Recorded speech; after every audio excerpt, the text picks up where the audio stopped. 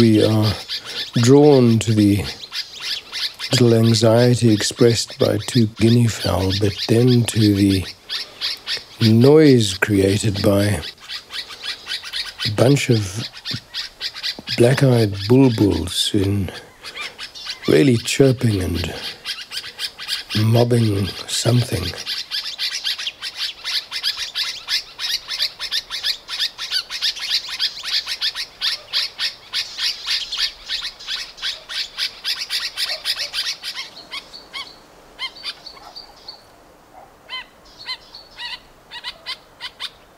We see under the tree on a rock a python, a beautiful young python, southern African python.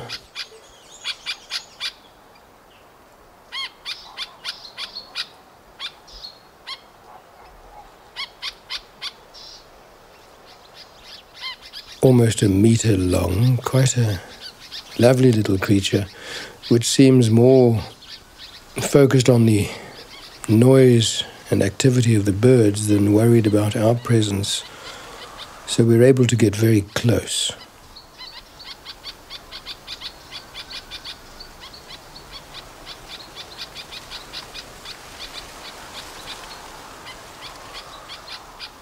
Beautiful animal, this, just watching its tongue flicking out of its mouth searching for traces of odor particles carried on the air, which it then transmits back into its Jacobson's organ via the tips of its forked tongue, analyzes that information, and so follows the scent.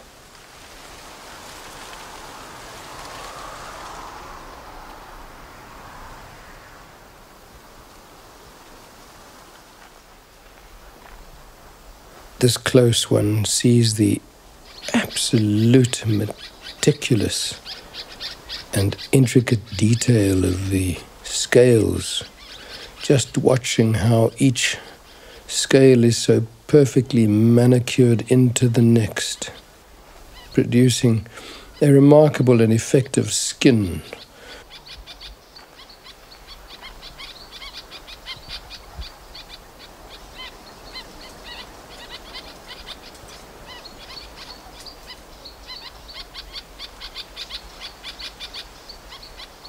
the wider apart the fork of the tongue is, the more information the snake can receive, with each fork tip going to a different lobe inside of its Jacobson's organ and brain.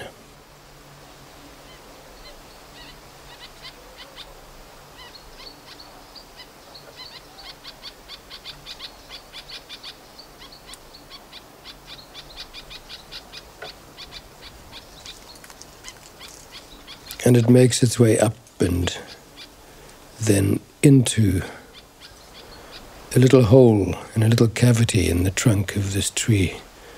And the bulbuls quieten down, and for us, just a lovely little interlude looking at one of the most beautiful snakes in Africa, the southern African python.